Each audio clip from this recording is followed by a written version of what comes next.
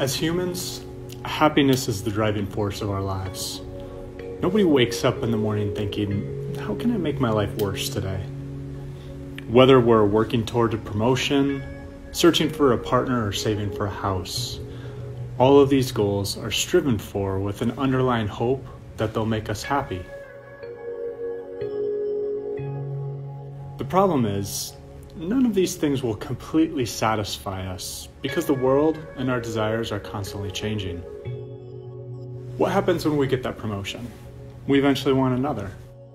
What happens when we find a partner? They eventually don't fulfill all of our needs. What happens when we get that house?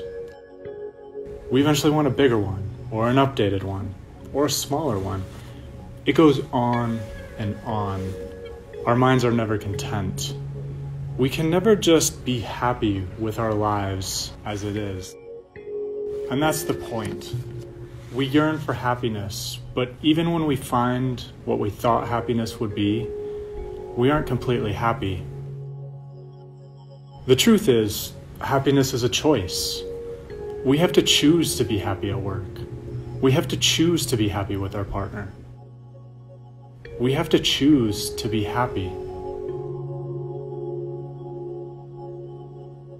The philosopher Seneca said, A wise man is content with his lot, whatever it may be, without wishing for what he has not.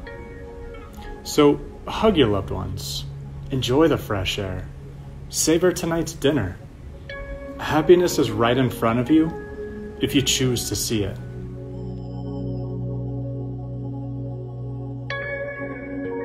Today, let go of your constant search for a happiness that exists somewhere in the future and choose happiness now.